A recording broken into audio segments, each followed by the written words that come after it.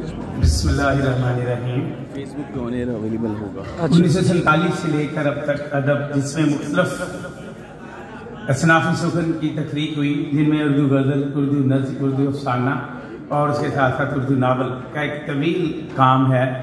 یہ پچہتر سالہ ایک عہد ہے۔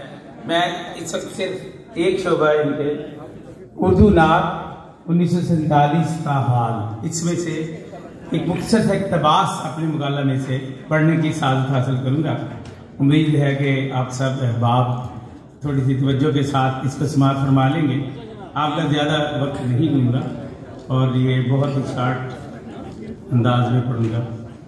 قیام پاکستان کے بعد انیس سو سینتالیس میں کچھ ادیب شاعر، رائٹر جو ہے، لکھ رہے تھے، ان میں سے دو حصوں میں تقسیم ہو گئے۔ تقسیم کے بعد جو لوگ پاکستان کے حصے میں آئے، اس سے پاکستانی ادب تشکیل پایا، جو بھارت میں چلے گئے اس سے بھارتی یا ہندوستانی ادب وجود میں آیا۔ قیام پاکستان کے فوراً بعد کی نعتیہ شاعری میں اقبال، حالی، حفیظ اور مولانا ظفر علی خان ہی کے اثرات نظر آتے ہیں۔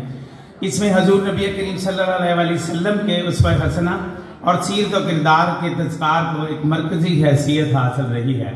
اٹھارہ سو ستاون سے لے کر انیس سو سینتالیس تک کی نوے سالہ دور کی نعتیہ شاعری میں حضور نبی کریم صلی اللہ علیہ وسلم کی ذات پاک سے اقتصاب اخلاق و کردار کیا گیا ہے۔